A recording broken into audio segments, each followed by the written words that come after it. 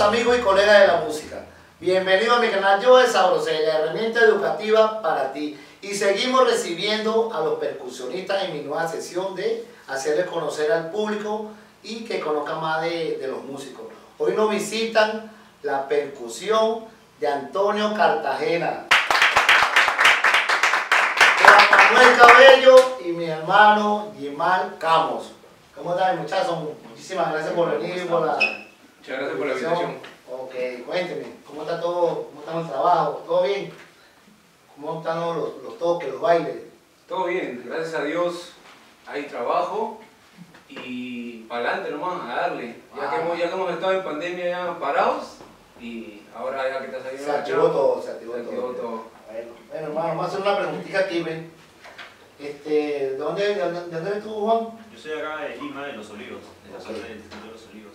Ok. ¿Y tú, Yimal? Yo acá de San Martín de Porres. ¿Cuáles fueron tus inicios, Juan? Eh, yo me inicié este, a los 15 años más o menos en el mundo del rubro de la cumbia. Mediante la cumbia este, fui creciendo, conocí amistades musicales de ámbitos, ambos géneros, ¿no? de todo el mundo. Eh, y de ahí este, me fui poco a poco creciendo con el grupo conocido de cumbia, como son este, El Magueya, Dilber Aguilar, cosas así. Ok. Y de ahí ya pues como uno va conociendo ambiente, va conociendo amistades y conforme fueron sucediendo, pasaron los años, pude llegar a lo que está el maestro Antonio Cartagena. Ok, ya eso lo dejamos ahí. ¿Y tú, Yimal? Ese es otro, ese otro tema que vamos a tocar ahí. ¿Tú, Yimal? Bueno, yo me inicié en, en, en una orquesta del RIMAC que formó el gran Melcochita y bueno, estuve ahí más o menos unos tres años y aprendí muchas cosas, la verdad. Ok. Era joven, aprendí mucho. ¿Era? Era. No, todavía eres joven. Y, y bueno, ya después ya este ya tom- tomé otro rumbo y ya este, fui, en- fui avanzando en otras orquestas, ¿no? Hasta llegar. hasta llegar con el maestro Antonio Cartagena. ¿Qué, ¿Cuántos años tienes tú ya, Juan Antonio? Yo ya este año cumplo siete ya. Siete años. ¿Tú entraste por quién? Yo entré, bueno, eh, no me acuerdo. ¿O quién te hizo el puente para que entrara Antonio a la orquesta? Ah, ya, mi, el- mi hermano este, André Carpio, Ok. conocido como La Ría, Oye, Andrés Carpio ha ayudado a bastante gente porque a todos los, que, los muchachos que le he entrevistado siempre nombran a Andrés. sí, y gracias a él este, pudimos compartir ideas, tocábamos juntos y un día necesitaba un conguero, ¿no? Porque ya este, Antonio decidió, ¿no? Cambiar su- la gente y ya fue donde yo entré ahí, ¿no? Y hasta ahorita viene. Hasta ahorita, siete años con este. Está bien, está bien. ¿Y tú, Juan? Yo recién hace poco, en febrero, llevo más o menos unos 6 meses, 5 o 6 meses. ¿Quién te recomendó para allá? o- Este, Chample, que es el pianista y director. Se llama Marco Andía. Ah, ok. ¿Y entraste por? ¿Quién estaba anteriormente? Eh, ¿cómo se llama? Este, No, estaban probando con voceros. Ah, ok. Y estuvo uno, este, eh, Alonso era su nombre, Alonso. Ok, ok. Y estaban probando con voceros y, ya, y el nombre ya, este, ya quedó perenne. ¿no? Bueno, está bien. Mira, este, ¿qué te iba a decir? ¿Quién hace la dinámica ahí en la orquesta? Lo- Porque tú sabes que toda la, la orquesta tiene una dinámica. ¿Quién es el que hace la- esa dinámica ahí La dinámica de los cortes, Los es- esto cortes. viene ya de, de años. de años atrás? de años atrás. Mayormente, este, cada vez que hacemos un ensayo, raras veces, porque eh, el maestro Antonio es el que hace los cortes. ¿eh? Él es el que dice, esto va acá, y, y él, él mismo hace. Si tú lo quieres modificar, él te da, te da pase libre, pero él primero quiere que lo hagas como él ha dicho. La idea que, la idea que, que, que él O sea, que usted le respeta la idea a él, pero después, bueno, lo... Claro, y se puede variar un- algo, ¿no? sin perder el estilo, obviamente. Claro, claro, claro. O sea, porque ya, ya, de verdad, ya ustedes han hecho en, en- bueno, ahorita digo ustedes porque ya tú estás metido en la, en la orquesta, pero Gismal, ya tú vienes con, ese, con esa dinámica de corte, ya, yo creo que tú eres el que va, le va indicando a ellos, aquí es, o, o no eres eso de estar, mira, tal corte, mira, no. ¿Ah? Sí, sí, ahí, ahí nos ayudamos entre todos, la verdad. Y y la cosa es que la percusión suene, suene bien. Claro, claro, claro, esa es la idea, esa es la idea. Y no, y conocerse y respetarse, pues. Claro, exacto. O sea, no es que, como dicen otros músicos, o sea, o, o piensan, que no me digas nada porque yo sé más que tú. Exacto, exacto. Entonces esas cosas hay que, hay que, hay que saberla manejar. Hay bastantes músicos así. Sí, a veces Eh, tú le dices algo al músico y lo toma Sí, a mal, ¿no? sí, sí, lo toma, no, no lo toma de consejo, sino lo toma que, no sé, o sea, no sé, pero hay personas que no, porque uno, uno, uno aprende hasta que del que menos sabe uno aprende. Entonces a veces no, no, no sabemos escuchar o, no, o nos hacemos los, los locos para, para ignorar a la gente. Yo era el que lleva como que dice la batuta en la percusión de, Ah, Antonio. Se puede decir Y que se sí. puede decir que sí, porque él él no había, mira, hay que hacer esto, es el que sabe, o Antonio te, te dice a ti, mira, hermano, corrime, estoy ahí, dile a los muchachos. Sí, en algunas ocasiones. Ok, En algunas ocasiones. Por ser el, el más antiguo, ¿no? el más antiguo, no decir el más viejo. mira, este, ¿qué opinan ustedes, o- o qué más o menos referencia ustedes pueden decir, o me pueden nombrar unos percusionistas del momento que, que ustedes le llaman la atención que tengan, bueno, puede ser aquí en el Perú o a nivel, a nivel internacional, pues. Sabes que todo, aquí más o menos tú, tú puedes Yo ahorita seguir. creo que en el momento, creo que como que ha cambiado bastante mucho el tema de musical, como que Caliche, Caliche Sabogal, ¿Te gusta Caliche sí, Sabogal? me gusta, me su tipo de toque que tiene. Que le Pero en los tres instrumentos o un instrumento específico. Eh, en, lo de la percusión en general, sí. En la general, ok. Exacto. ¿Te gusta Caliche? Exacto, sí. ¿Y no hay, no hay otro más por ahí? Sí, tal vez el Caliche, este, el Luisito Quinteros. Luisito Quinteros, Ah, eso, ¿no? Ya Vilera. Vilera, Robert. Ya, exactamente. Ok. ¿Y tú, Iván? Bueno, yo desde, desde que estaba joven, Ah, sí, sí. este, eh, bueno, siempre lo, en, en la parte extranjera, ¿no? ok. Lo admiraba a, o hasta ahora lo admiro, a Robert Quinteros. Ah, Robert, ok. ¿no? Robert Quinteros, él es uno de, de mis, se puede decir ahí, de, siempre lo paro viendo, y también a Jimmy Morales, que ya descanse, y siempre veía cada, cada, cada, este, cada conguero y lo que me gustaba, ¿no? Claro, También como también al venezolano este, Jorge Horta, ¿no? Jorge, ah, Cro Cro. Estuvo por Nietzsche. Exacto, tuvo Sobre. muchos muchos años en Nietzsche. Y la verdad que ellos tres, pucha, que eh, la marcha que tienen, todo eso siempre me llamó la atención y yo desde chico lo, lo, lo comencé a, lo seguía, ¿no? Ok. Y, y dio el caso que pasados los años, al entrar yo acá con el maestro Antonio Cartagena, y pude tener comunicación con, con Jorge, Ojo, ok. con Cro Cro.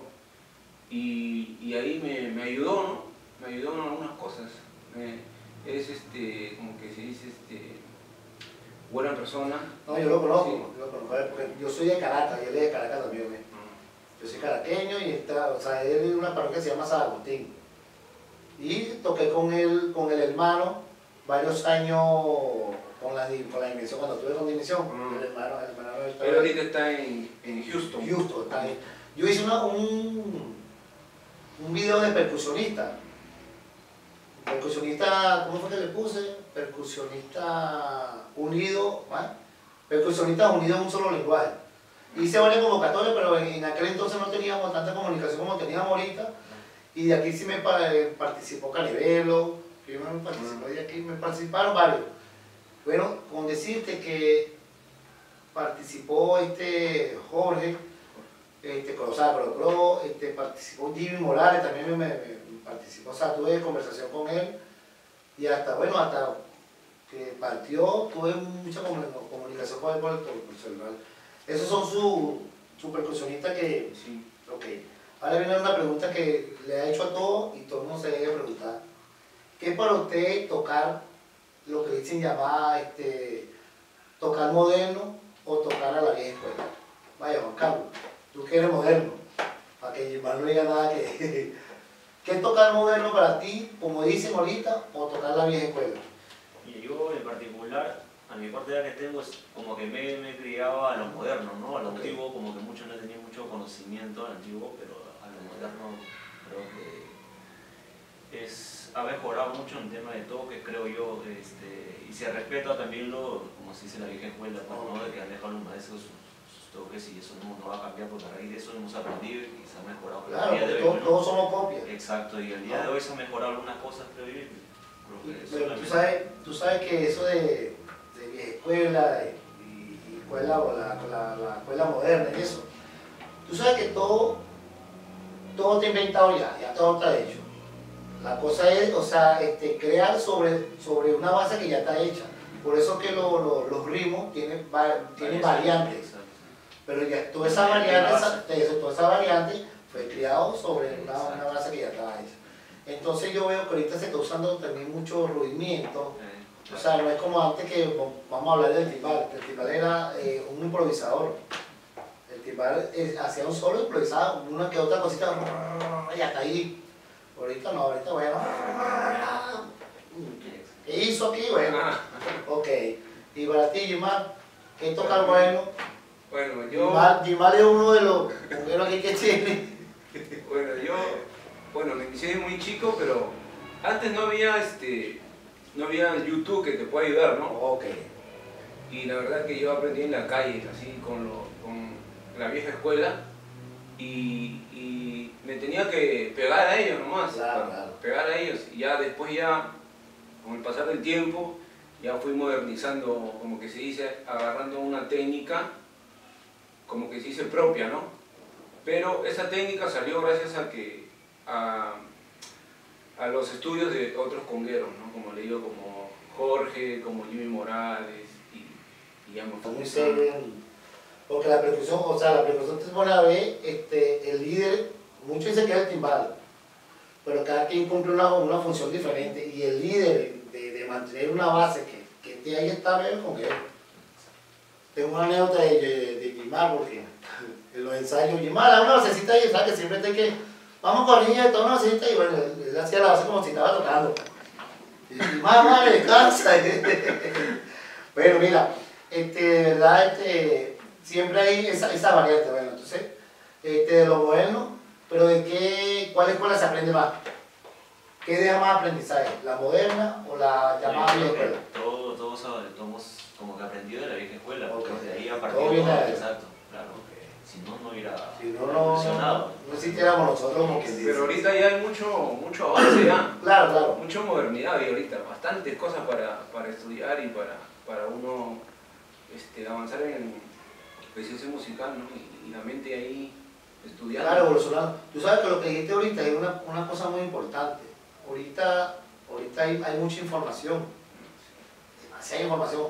Entonces, con esto no es que quiero decir que, que no, como quien dice, no, no, no, el que no toca es porque no quiere, pero en parte es, es verdad, o sea, si tú quieres ver cómo hace tal corte, tú buscas en YouTube y ve la orquesta o ve cómo lo hizo este, ¿no? y bueno y escoge lo mejor porque uh, uh, vuelvo y repito somos copias de lo que de lo que ya está hecho ¿verdad? todos tenemos un patrón a seguir contra me gustó esto como hizo ah bueno está chévere vamos a seguir eso también vamos a aplicarlo entonces la, la, la- hoy en día verdad el que el que no toca verdad porque no quiere Y hay, hay algunos, hay algunos, algunos discos de, por ejemplo, este, Tony Vega o Lalo Rodríguez, no sé si por ahí se ha dado cuenta, hay algunos temas que no están grabados con, con este, metrónomo, están grabados así. sí ¿no? sí claro claro Y tú tienes que ahí estar este, bien, bien, bien, bien pegado a, a la percusión y todo. Sí, bueno, porque una, una de las formas de, de- de corregirse uno mismo, la velocidad, ¿sabes? Que a veces uno corre, Sí, o ah, a veces Se emociona uno y Sí. No, ven, te está, eh, para adelante, se está cayendo el río, se está cayendo el tiempo. ¿Sabes que siempre se pasa radio? Entonces una de las formas que yo la veo y la, y la he puesto en práctica es tocar encima de, de los temas, pues, X canción, pero toca duro. Porque no es lo mismo Ah. tocar bajito, para que se escuche, ¿no? claro, o sea que tú estás tocando como si estuvieras en, en la tarima, pues, en el escenario. Estás tocando normal y llevas el tiempo ahí. Por eso es que siempre cuando marcas un tema, tú- ya tú sabes qué tiempo va ese tema, pues ya tú lo ensayaste. Eh, no, vale, va muy rápido. No, un poquito más lento. Eh, Es una de las formas que yo voy a estudiar, pues. Entonces, bueno, fíjate, hay mucha información ahorita y eso es, eso hay que, es Hay inevitable. que aprovechar, ¿no? Hay que aprovechar. Hay que aprovechar, hay que aprovechar, ¿verdad? Toda, toda esa información. Mira, ¿cuál ha sido, cuál ha sido para ti la, la mayor experiencia que has tenido con la música? Bueno, que eres, eres joven todavía, pero hasta el momento... Hasta el momento yo creo que siempre desde pequeño Mm. siempre he mirado al maestro Antonio y siempre he querido llegar a, a, a la orquesta y Y gracias está a. Dios estoy acá en la orquesta Gracias. y de verdad disfruto Una- cada una momento de sí. Y siempre miraba a Gilmar por, por los videos. Chale, voy a tocar, yo pues te, Ah. te pana, ¿no? Sí. Yo sé que cumplió tu deseo, ¿eh? Viste que, sí, sí, Ah. viste que la cosa... Sí se cumple, ah, claro. Sí, exactamente. Pero también a tu esfuerzo también, a tu aprendizaje, a tu, y a, a tu paciencia, porque Claro. no es, no es fácil llegar, llegar a, a esta orquesta, por lo menos a la orquesta de, de- de Antonio, y con esa infinidad de cortes que hay Sí. Así es. Y un día le hice esta pregunta a Gilmar, ¿verdad? No, pero ahora se han este, Reducido, ¿no? reducido los cortes Sí. porque con mi hermano André Carpio sacamos algunos cortes. Ah, ok, Sacamos porque habían más cortes. Ah, fíjate. Había más cortes. En todos los temas era corte, corte, corte. Y, y quedamos en, en- con la ardilla, quedamos en quitar algunos. Y se quitaron y se escucha mejor, ¿no? Se escucha, se escucha mejor. O sea que todos esos cortes o toda esa dinámica la hacía que Antonio y, y el pan Ardilla. No, entre los dos, entre, Tú, claro, con la ardilla, nosotros mismos nos pusimos de acuerdo y Antonio nos dio la potestad de, ya bueno, ustedes hagan ahí lo que ustedes deciden ok, y quitaron un poco. y quitamos un poco. Porque también es un problema, o sea, eh, no es un problema, pero sí es un poquito de, de trabajo para usted, o sea, para ti que, que eres más, más en la, en la orquesta, que se le hicieran la suspensa al bongo o al timbal, porque tú ibas, y tú ibas a sufrir ahí, porque escuchan ahí, no sé si, si iba a escuchar la cosa ahí, tú sabes, ¿no? Y, y a nadie le gusta tocar mal. Por lo menos yo soy uno que me molesta cuando uno se equivoca, o yo mismo me equivoco, que uno se te equivoca. pues. Y un problema también que hay acá en la orquesta es que ni uno de, los, de nosotros, del- bueno, ahorita no está nuestro hermano Gustavo. Timbal, Saludos, Gustavo, gracias por, por dejarme embarcado. Ahí. Eh, no podemos faltar, porque si viene otro músico, no, este, como, que, como que se le hace un mundo, parece, ¿no? O sea, no es fácil. sí, La cosa no está a fácil. menos que traiga todos los papeles escritos, ¿no? Y, pero igual ha sucedido casos que han traído todos sus papeles escritos y, y, este, y se- sí un poco se complica, se complica. Claro, porque el músico toca mecánico. Está pendiente, no está pendiente de estar no está disfrutando el show, sino está uno, dos, tres, ahí viene el corte, Sí, ahí viene. Entonces, no, ahí no era. Mm, chale, entonces. Y bueno, hay algunos, algunos audios en YouTube que, por ejemplo, un mes atrás, ¿no? y, tú le- y de repente viene un timbalero como hacer un conguero, y él ha visto ese audio de, de, por ejemplo, de enero, Ah, pero ahorita estamos en, en- ahorita estamos en julio, ¿no? Y ya estamos haciendo otra cosa. O Entonces, sea, ya, ya se quedó en el claro, entonces no, él escribió eso y eso- Eso no es, no, es, no, no, eh, eh, no es, no, no fácil, no es fácil.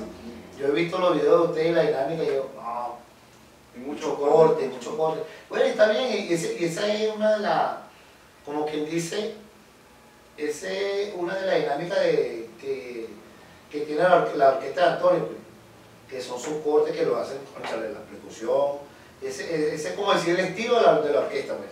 El que llegó ahí no es que no, no voy a hacer corte, no, tiene que hacer corte, porque si no, no. Yo cuando era más, más, más joven, de nuevo, yo una vez me fui a un, a un, este, por, por mi barrio, este, tocó el maestro Antonio. En ese tiempo este, yo tenía como 16 años yo. Y estaban tocando la orquesta y yo estaba parado mirando y decía, yo decía, "Pucha". O sea, te, te venía la ilusión, ¿no? De, que yo quisiera tocar ahí, ¿no? Como esos músicos, quisiera estar ahí, ¿no? Y bueno, todo, todo sueño se cumple, ¿no? Claro, Todo claro. sueño se cumple. Ya te va Manuel, eso cumplió su sueño. Todo sueño se cumple.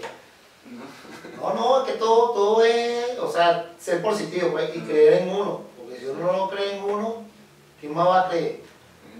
la humildad tiene que ser también, ¿verdad? La humildad por delante, no hay que ser egoísta con, con lo que uno medio sabe, hay que enseñarlo, o sea, hay que, hay que darle la oportunidad, por lo menos en este caso, tú le estás dando la oportunidad a él que, o sea, Claro, eh, eh, bueno, eh, el director es este, bueno, el coordinador Gianmarco Andía, ¿no?